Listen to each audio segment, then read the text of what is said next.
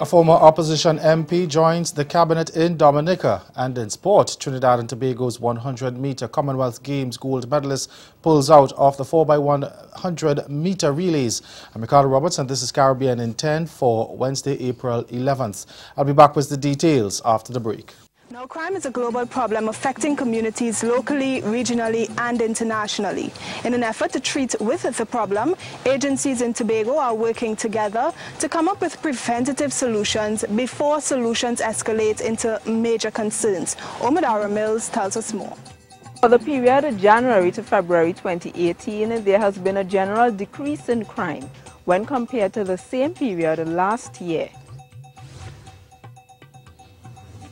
Just how serious is this issue with North Korea and its impact on the rest of the world and stability? If I may, let me just say, the president has to go to Latin America because it is unraveling at the moment. You have country after country that is being destabilized, most especially Venezuela. but as a result, as a result of Venezuela's collapse, you're seeing migrations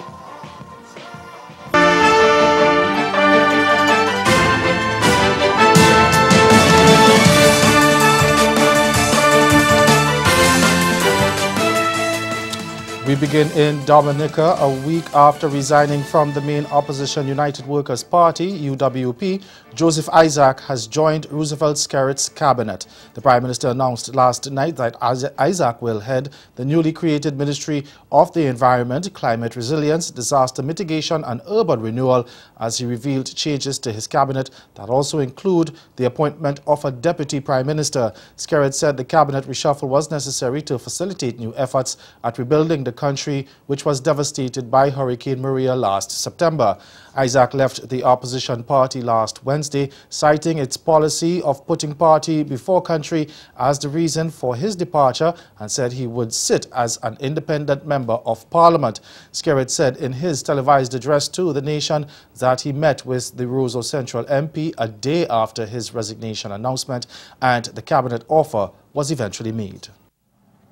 I believe that the time for this has come, not necessarily from a successor perspective, as I do not believe the issue of leadership is something that can be bequeathed from one leader to another. However, I believe that for matters of continuity and seamless transition in the day-to-day -day functioning of government, there is benefit at this time in my naming a deputy prime minister who shall not only act as prime minister in my absence from the country, but who shall also be tasked with several administrative functions in the harnessing and coordination of the various ministries. That individual, incidentally, shall also be assigned the all-important portfolio of agriculture, food, and fisheries. The Prime Minister also named Reginald Austrie as his Deputy Prime Minister. The other major change Skerrit announced was that from tomorrow he would assume ultimate ministerial responsibility for housing, even though Johnson Drigo will be Minister in the Ministry of Housing and Lands dealing with the day-to-day -day operations. The Prime Minister said he took the decision because he believes the next two years will be critical to the success of Dominica's national rebuilding objectives. Antigua and Barbuda's Prime Minister Gaston Browne says non-nationals who have nothing to offer to the twin island nation need to get out of the country. While admitting that it was a sensitive topic and he did not want CARICOM nationals to think they were being profiled, Browne said there were many of them who were in the country without jobs and were burdening, burdening the society. Speaking on local radio, the Prime Minister said those who come into the country and have no positive contribution make um, to make must be sent back home because they represent a threat not to not only indigenous Antiguans, but other immigration or immigrants living in the country. It was against that background he, that he said the monitoring of migrants in Antigua and Barbuda has to improve. Over in Jamaica now, the government will seek to further extend the zones of special operations in Mount Salem, St. James and Denham Town in Kingston. A resolution for the extension is slated to be tabled during this afternoon's sitting of the House of Representatives. This would be the fourth extension for the Mount Salem zone, which became operational on September 1st last year, while it would be the third for Denham Town. The House on February 13 approved two resolutions requesting a 60-day extension for the two operations. They were moved by Prime Minister Andrew Holness, who said the additional time was a necessary enabler for the intensified delivery of social services and infrastructure investment. Stay with us, your Midday Sport is next.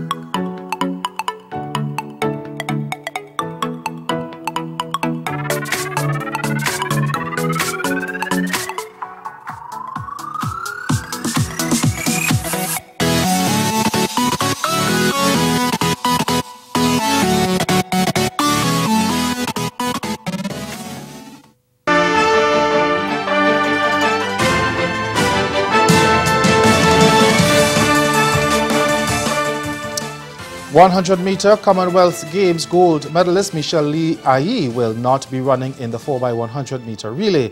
This was confirmed by the Trinidadian who stopped short of saying why she pulled out. TV6's Sergio Dufour reports. After winning gold in the 100 meters at the Commonwealth Games, Michelle Lee Ahye whet the appetite of several sporting fans hoping to see her tear it up again in the 4x100 meters. It's not going to happen though with the athlete saying her coach says that that's it. However, no explanation was given for why Ahye pulled out. She would only say, Oh yeah, yeah, I'm not going really. because uh, there's a hundred and, and, that's it. Yeah. They said they do, but they'll be alright. They, they don't know me. They got this. The situation has prompted reflection upon what was Ahye's real reason for not running, especially after she made the comment, so I definitely won't be running the relay since home girl is future female track.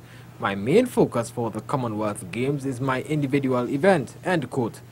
Is this the reason why Ahye won't be running the 4x100 meters? Former TNT sprinter Ayanna Hutchinson Britton is one who is hoping the camaraderie issue isn't the reason Ahye opted out. She says Ahye should be running based on paper. You should have expected to see her in the 4x1 because when she was selected, she was selected to run both the 100 and the 4x1.